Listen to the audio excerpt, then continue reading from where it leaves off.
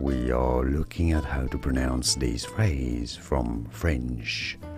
How do you say it correctly? The French pronunciation for it is as à la carte, à la carte.